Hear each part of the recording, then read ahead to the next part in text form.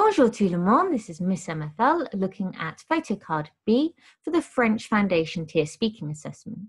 I recommend you pause the video now and take around six minutes to start answering the questions that you can see at the bottom of the page with the bullet points. I recommend six minutes because you have 12 minutes total to prepare for both the role play and the photo card, though you may want to give yourself more or less time depending on which part of the assessment you're more confident with. And bear in mind that the photo card requires longer answers generally.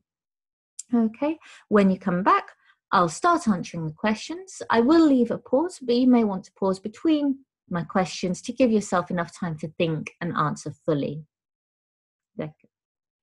Qu'est-ce qu'il y a sur la photo? Qu'est-ce que tu as fait pour fêter ton anniversaire l'année dernière? Quel est ton cadeau d'anniversaire idéal? Que fait ta famille pour célébrer les anniversaires?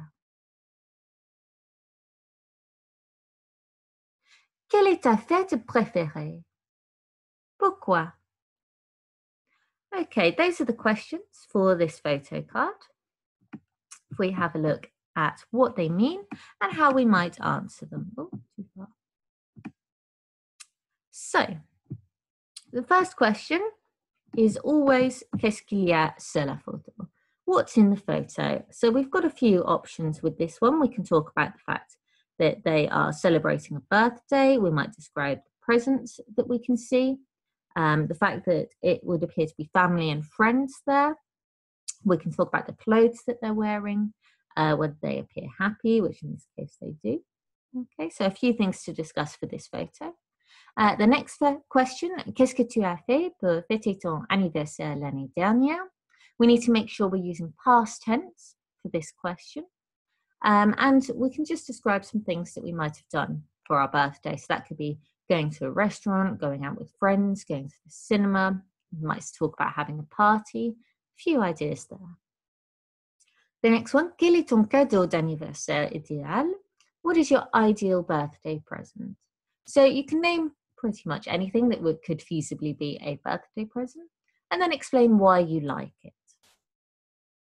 Uh, que fait ta famille pour célébrer les anniversaires?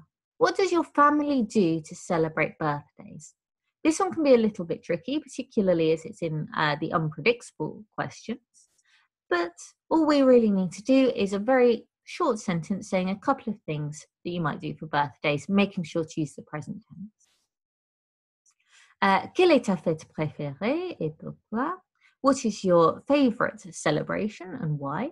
So that could be Christmas, Easter, New Year's, um, any celebration that you might do through the year, um, and explaining why you like it, which could be something to do with the food, the meaning behind it, various ideas.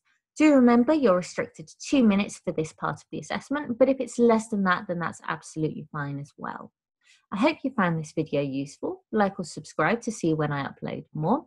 We will be doing the reading, writing, and listening papers as a walkthrough at the end of this week and have a look in the description where you'll find a link to my Facebook page where you can arrange some online one to one tutoring. Au revoir.